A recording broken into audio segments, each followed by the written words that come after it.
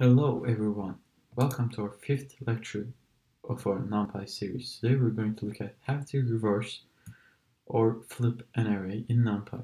So let's start by importing our NumPy libraries. Excellent.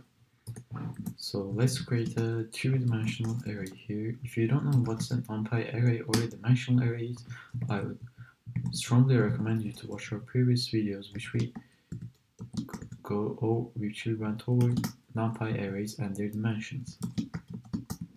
So now we have a two-dimensional array which contains two one-dimensional arrays and each of, in each one of them we have three elements. So let's start by printing an array, printing our array and see how this look, see how it looks like. As you can see, it's a classic two-dimensional array. So let's say we want to flip this array in a new variable.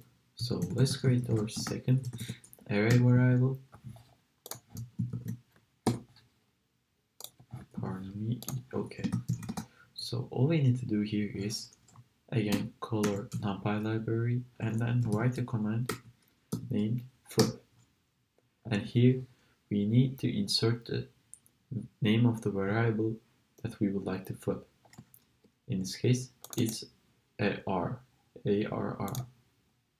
So let's type here R, and when we print R2, we would receive a reversed version of this array. So here, as you can see, we reversed our array. And if we would like to change the original variable, so if you would like to change this R variable here, all we gotta do is to delete that extra characters there and as you can see we can easily assign the new flip array to our original one. So when we run this we should receive the same output. Hope you guys enjoyed this video. If you have any questions feel free to comment down below.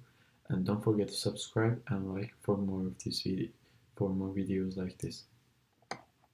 Signing off